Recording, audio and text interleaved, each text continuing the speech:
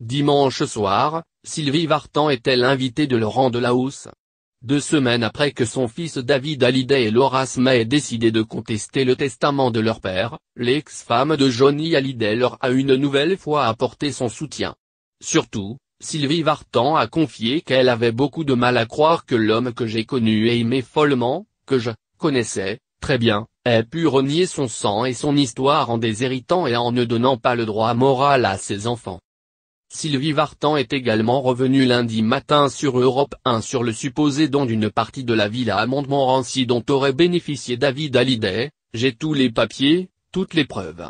Je ne veux pas étaler ça, de mon côté, je n'emploie pas les mêmes armes, lâche la chanteuse, je suis sereine de ce côté-là, je les communiquerai en temps et en heure. Et de conclure en s'étonnant, on dit aussi qu'il a donné à Laura, mais attendez, quand on fait un cadeau à son enfant, est-ce que sur la carte d'anniversaire, on dit ma chérie ou mon chéri, je te fais cadeau d'un studio qui va être défalqué de mon testament